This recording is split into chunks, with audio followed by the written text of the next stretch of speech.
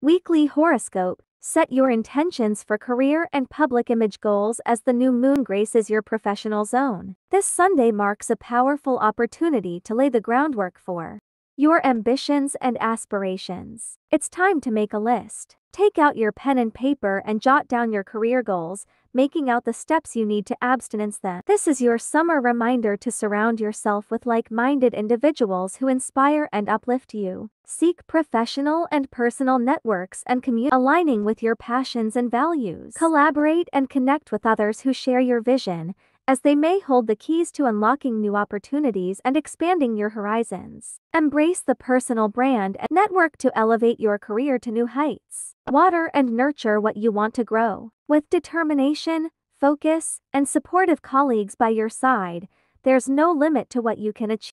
For more horoscopes, lessons, and tips on all things Please subscribe to my new YouTube channel where you can check out my most recent videos, such as my introduction to manifesting with the new moon, a short guided manifesting meditation, and a new moon ritual you can try. Thanks and have a blessed week.